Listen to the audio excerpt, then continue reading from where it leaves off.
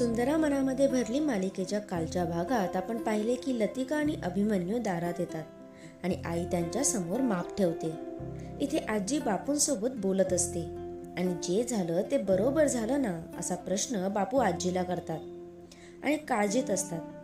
त्यांचा संसार सुखाचा होऊ दे असं बोलत असतात. दुसरीकडे कामिनीसोबत बोलायला दौलत येतो. कामिनी तिथून रागाने निघून जाते. घरी सज्जनराव नाराज बसलेले असतात. त्यांच्या नाकातून रक्त येत असतं. आबा सज्जनरावांना काय झालं असं विचारतात. यावर जास्त स्ट्रेस आला की नाकातून रक्त येतं असं ते उत्तर देतात. इथे आई अभिमन्यू आणि लतिकाची नजर काढतात. त्यांना ओवाळतात. तेवढ्यात आशू त्या दोघांना उखाणा घ्यायला सांगतो. आधी लतिका नाव घेते.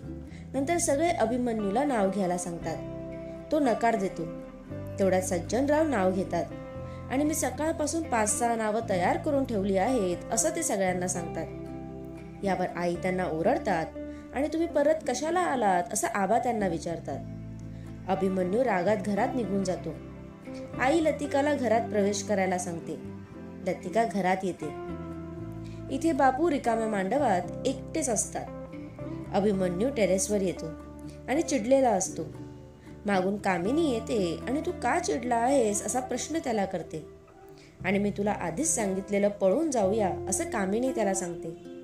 आणि माझ्या आयुष्याचे बारा वाजले आहेत हे लग्न करून असं अभिमन्यू तिला उत्तर देतो आणि तिथून निघून जातो.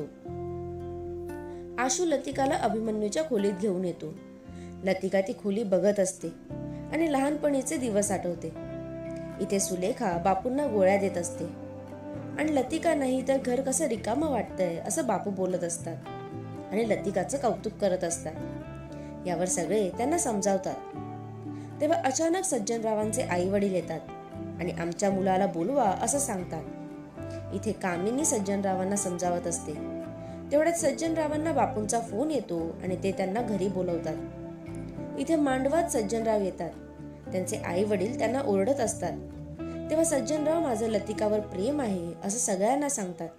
आणि मी परत येणार नाही मला कंटाळा आलाय असंही सांगतात. त्यांच्या या बोलण्यावर त्यांचे वडील सज्जनरावांना मारायला जातात. बापू मध्ये येतात आणि त्यांना इथेच राहू द्या मी त्यांना उद्या पाठवतो असं सांगतात. तेव्हा आजी सुद्धा मध्ये पडत भांडण सोडवतात आणि सज्जनरावांच्या वडिलांना इथून निघायला सांगतात. आधी माझे दोन लाख दे मग तुझा पोरगा घेऊन जा असंही आजी त्यांना सांगतात. ते दोघेही तिथून निघून जातात. इथे अभिमन्यू आणि लतिका एकत्र बसलेले असतात. लतिकाला नवीन नाव दे असं अभिमन्यूची आई त्याला सांगते. यावर मी नाव नाही बदलणार असं अभिमन्यू सगळ्यांसमोर बोलतो. या दोघांचा संसार असाच चालू राहील का?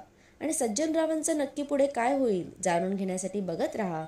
सुंदरा मनामध्ये भरली फक्त कलर्स मराठीवर.